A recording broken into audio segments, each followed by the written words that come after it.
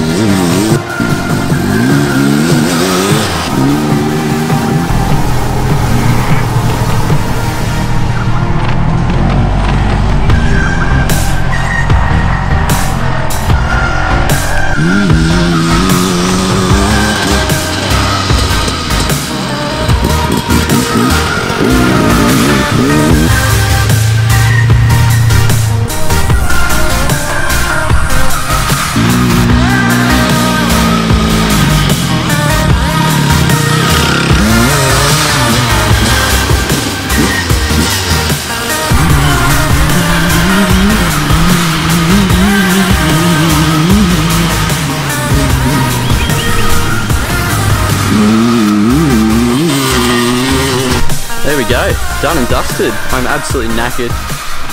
That's me for the day. Had a bit of a bit of a get off in one of the soft corners. Twisted my shoulder a little bit, but kept riding.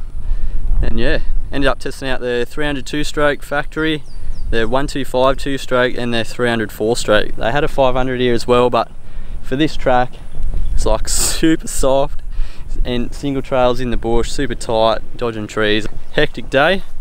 Thanks to the boys for setting this up. Sweet.